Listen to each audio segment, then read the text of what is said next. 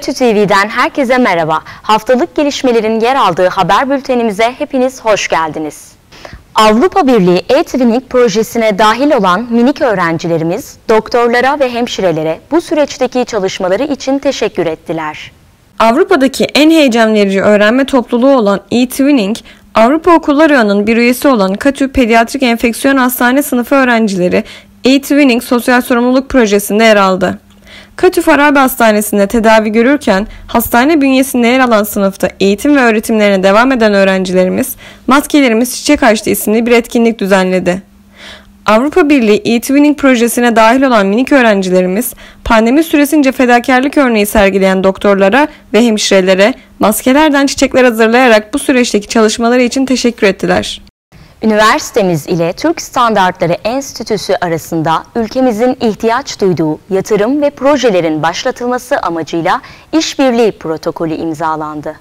Üniversitemiz ile Türk Standartları Enstitüsü arasında standart geliştirme sürecinde üniversitenin akademik personelinin katılmasının taraflarca teşvik edilmesi, üniversitemiz bünyesinde yer alan araştırma merkezleri ve enstitü laboratuvarları ve ilgili birimlerin eşgüdümlü olarak önemsedikleri alanlarda faaliyet göstermesi, gerektiği durumlarda uygunluk değerlendirme alanlarında ülkemizin ihtiyaç duyduğu yatırım ve projelerin başlatılması amacıyla işbirliği protokolü imzalandı. Protokolü üniversitemiz adına rektörümüz Profesör Doktor Hamdullah Çuvalcı ve Türk Standartları Enstitüsü adına TSE Başkanı Profesör Doktor Adem Şahin imzaladı. Üniversitemiz Teknoloji Transferi Uygulama ve Araştırma Merkezi tarafından düzenlenen 15. Düşünden Gerçeğine Proje Pazarı etkinliği tamamlandı. Üniversitemiz Teknoloji Transferi Uygulama ve Araştırma Merkezi tarafından 25-27 Mayıs 2022 tarihlerinde Katü Osman Turan Kültür ve Kongre Merkezi'nde düzenlenen 15. Düşünden Gerçeğine Proje Pazarı etkinliği tamamlandı. Şubat 2022'de başvuruları alınmaya başlanan etkinlikte üniversitemiz mimarlık, iç mimarlık, şehir bölge planlama bölümünden 10 adet proje mimari tasarım kategorisinde UZEM'den 8 adet proje ise robotik ve kodlama kategorisinde yerini aldı. Smart Yağıt projesi kapsamında çözüm sağlayıcıları veri tabanı oluşturuldu.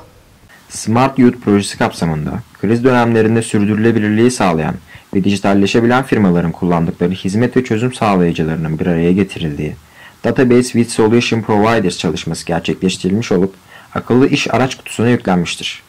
Veri tabanının geliştirilmesinin amacı yeni nesil girişimcilere kriz dönemlerinde sürdürülebilirliklerini sağlayabilecek hizmet ve çözüm sağlayıcıları sunmaktır. Bu doğrultuda pandemi ve diğer krizler gibi olağanüstü durumlara maruz kaldıkları dönemlerde sürdürülebilirliklerini sağlayabilen ve faaliyetlerini dijitalleştirebilen firmaların aktivite alanlarını, kriz döneminde kullandıkları çözüm sağlayıcılarını, şirketlerin web sitelerini ve portföylerini içeren veri tabanı oluşturmuştur. Üniversitemiz Yükseköğretim Kalite Kurulu tarafından 5 yıl süreli olarak tam akredite edilmiştir. Yükseköğretim Kalite Kurulu'ndan üniversitemize 5 yıllık tam akreditasyon almaya hak kazandı. Yükseköğretim kalite güvencesi, üniversitelerin hesap verebilirlik, şeffaflık ve sürekli iyileşme anlayışı doğrultusunda temel fonksiyonlarını paydaşların beklentilerine ve amaca uygun bir şekilde yerine getirdiklerine dair kamuoyuna verdikleri güvencedir.